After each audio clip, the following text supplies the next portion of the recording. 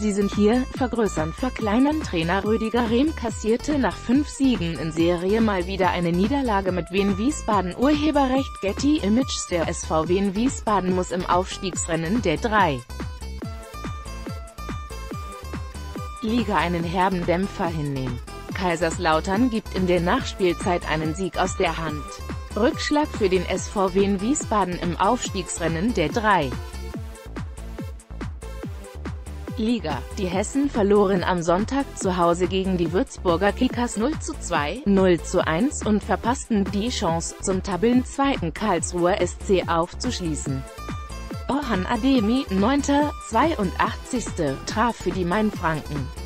Der ehemalige Bundesligist 1. FC Kaiserslautern hatte zuvor einen weiteren Sieg in letzter Sekunde aus der Hand gegeben.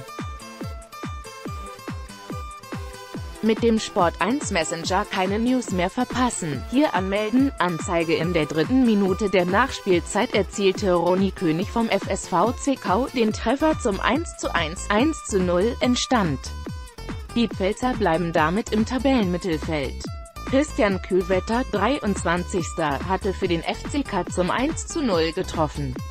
Zwickaus Torwart Johannes Brinkis parierte einen Foulelfmeter von Yannick Sternberg, 45. 2. Die Lauterer sind aber seit drei Spielen ungeschlagen und holten dabei fünf Punkte.